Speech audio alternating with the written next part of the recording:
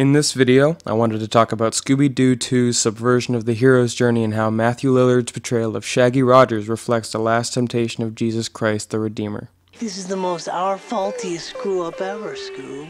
There's gotta be some way that we can prove that we actually belong in the game. That's not what this video is about, but it very well could be. This video is about exploring the mindscape that Charlie Kaufman plots through his screenplay for Eternal Sunshine of the Spotless Mind and how he uses the set and visual effects to convey the processes of the mind.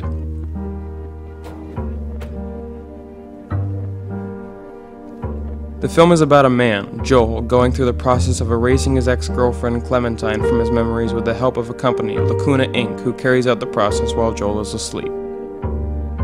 The majority of the film's action takes place during Joel's dreams as he relives each memory he has with Clementine while the two guys working for Lacuna, Stan and Patrick, erase the memories one at a time, only for Joel to regret going through with the procedure and wanting to keep his memories.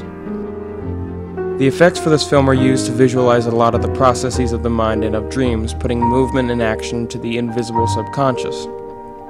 For example, in one memory, Joel and Clem are at a drive-in as the world starts erasing around them.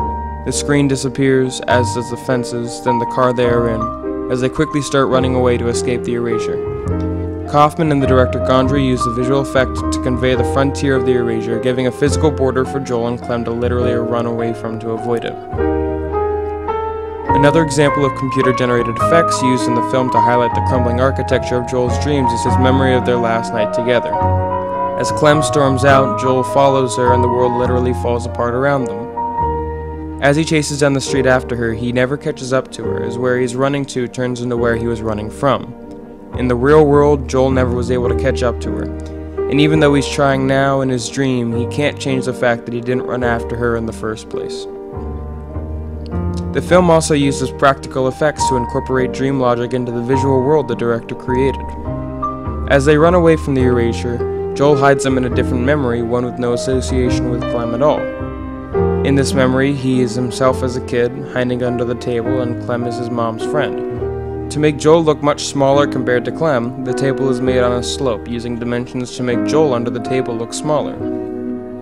The film's centerpiece, its screenplay, is genius, incredibly witty, and one of Kaufman's best works, but it couldn't have been made without the collaboration with Michel Gondry and his entirely innovative mind. Some other works to check out Charlie Kaufman's adaptation, Synecdoche, New York, and Anomalisa. Michel Gondry's The Science of Sleep, and Be Kind Rewind.